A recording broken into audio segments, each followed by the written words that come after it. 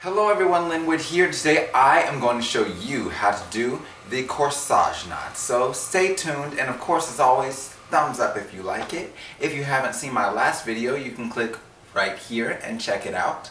And we will go ahead and get started. Let me walk up uh, first and just let you have a closer look. So as you can see here, it kind of favors almost like a trinity with a little something extra, but I'm going to go ahead and deconstruct this and let you see the composition of it all over together. Okay, so this is my right side, this is my left side, and the tip of my blade sits right at my belt line. So I'm going to start off by placing my power crease in there, and I'm just going to pull it to the center as always, and bring my tail right on over the top, wrapping around the back, back around the front and up through the center.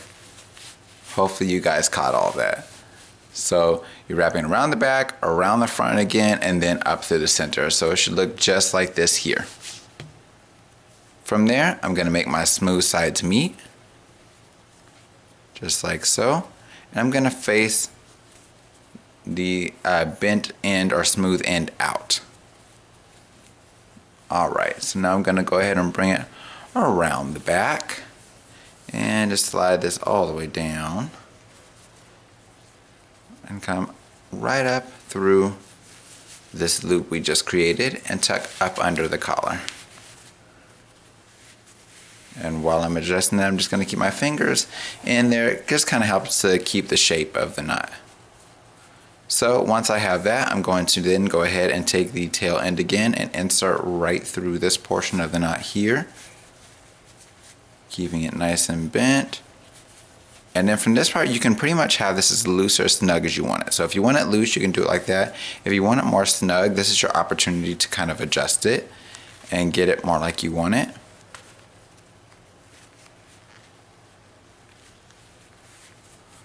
Alright, and then I'm just going to take this tail end here and tuck it up underneath.